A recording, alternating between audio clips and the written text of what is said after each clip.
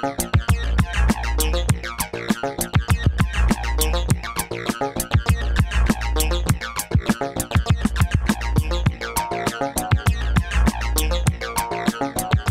this is Josh Tickell with Living Eco. Check out the DVD of Fuel. This is the movie I directed. My wife, Rebecca Harrell Tickell, produced this film. It is an amazing journey about green energy. Look at the cover here. We've got a, a, world covered in oil. We did this, you know, a year and a half ago, well before the BP oil spill because we wanted to show people look, this is what's really going on. The DVD shows the truth about Louisiana, it shows the truth about oil spills, and, and no other film really gets into the bayou where I'm from and gives you the truth and gives you the solution. So whether you buy the DVD or you get it on Netflix or you get it on Hulu or iTunes, uh, watch it. It'll change your life. Hi, I'm Ken Spector, and I'm here on behalf of livingeco.com, and I'm here today with Josh Tickell. So the Fuel DVD is out. Can you tell me a little bit about what features are on the DVD that uh, perhaps uh, you know were not in the film? Well, the features on the DVD that are really exciting include how to get 150 miles per gallon from your Prius. So there are a lot of Prius owners out there who are environmentally minded. Uh, the Prius uh, behind me here actually gets 150 miles per gallon. It has a plug and it has an electrical battery pack that's far larger than the one that comes with the Prius. So we go through that in detail on the DVD and show you how you can do that. Wow, that's superb. So uh, the last time I spoke with you, we were at the EMA Awards, and you had taken the Algaeus across the country. What has changed? I mean, obviously we have this BP disaster. Can you talk a little bit about that? Well, we spent quite a bit of time down in the Gulf. I'm only here very briefly. We'll be back in the Gulf uh, within the next couple of days the reality is, is probably 100 times worse than what we've seen in the media. So it's, it's, a, it's truly a heartbreaking situation, what's happened ecologically. But what's happened specifically with government and with how it's been handled has been nothing short of negligence and corruption, really criminal behavior. So you said it may take, I saw you in another video, a million years to clean this up plus? We, we have a, a situation that may never truly go out of the ecosystem. When Corexit mixes with the oil, it creates tertiary and, and fourth stage chemicals, uh, some of which are like dioxins. They don't leave the environment, period. Mm, that's unbelievable. And now you're working on another film called Spill. Can you talk a little bit about that? Yeah, Spill was really inspired, obviously, by the Gulf Coast oil disaster. And it's about the issues surrounding the oil spill. We've all seen the videos of you know, awful, heartbreaking videos of birds covered in oil, and we've seen the heartbreaking videos of shrimpers out of work. Uh, Spill takes a whole different perspective on this, and that is, you know, what did it really take to get to the point where BP could be the kind of company that would destroy an entire ecosystem and not be culpable or liable for that. Mm-hmm. You know, what, what, what did it take to get America to the position where we would allow an oil company to do something like this? Mm-hmm. And how can we move forward? How can we really move beyond petroleum?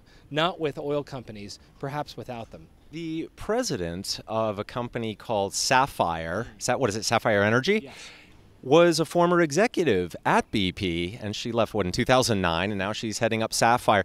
Can you comment a little bit about what Sapphire is doing to change the trajectory of oils and energy? Well, one of the one of the most breakthrough concepts around energy that we'll explore in a new dimension in Spill is the algae industry. It's gone from having just a handful of companies to now over 800 companies in the space. It looks like it could be a trillion dollar a year industry within the next decade. And Sapphire is one of the companies that's leading the way with algae. Uh, their technology is probably three to five years ahead of anything else I've seen. And what they've really mastered is they've mastered growing algae for fuel. And bear in mind, we could use 9% of the Sonoran Desert to grow 100% of the fuel that we need in the US.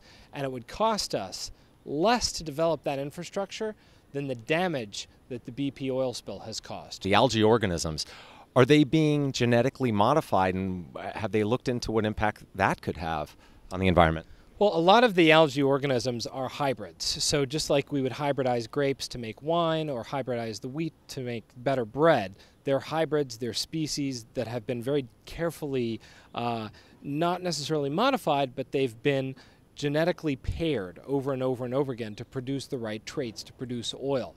-hmm. uh, the modification is definitely something that's foreseeable with algae.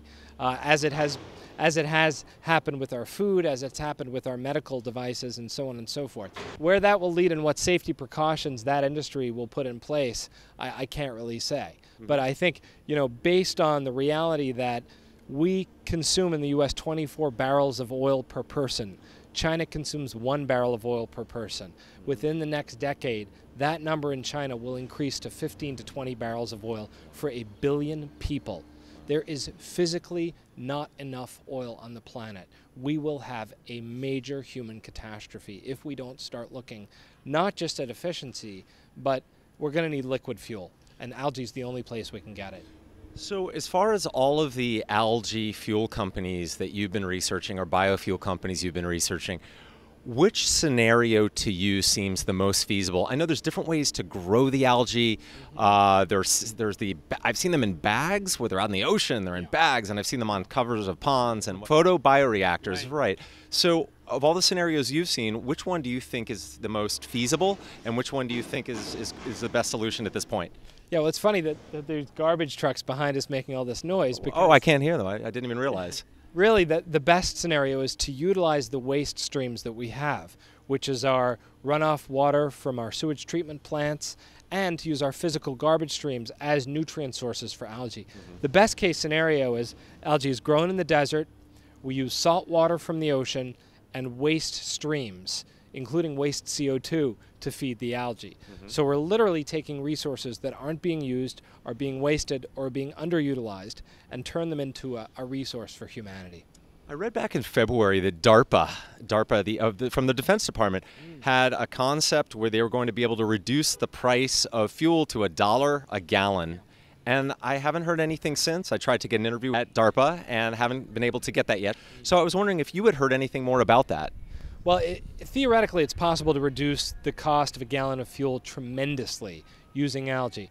You know, once the basic technology nuts and bolts are kind of figured out, we're looking at something that can essentially be grown in any desert environment in the world. Mm-hmm. Uh, bear in mind, deserts occupy a tremendous portion of our continents. Australia, huge desert in the middle of that country. It's the size of, you know, Australia is the size of the continental U.S., with a desert that's the size of the Louisiana Purchase. Mm-hmm. Saudi Arabia, the entire Middle Eastern uh, frontier has been untapped in terms of a resource for actually growing agriculture. The amazing thing about algae in the desert is it seeds clouds. Mm-hmm. So it starts to regenerate an ecosystem that may have once existed in that area. Mm-hmm. So literally, this is a breakthrough technology in terms of the products, but it's a breakthrough technology in terms of what it could offer the environment. Because it's so transportable, because it's so growable in many different locations, it, it really redefines how energy is gotten. Right mm-hmm. now, energy is gotten from very specific locations and controlled. This will inevitably be uh, uncontrollable in terms of its ability to be created, managed, handled by small groups of people.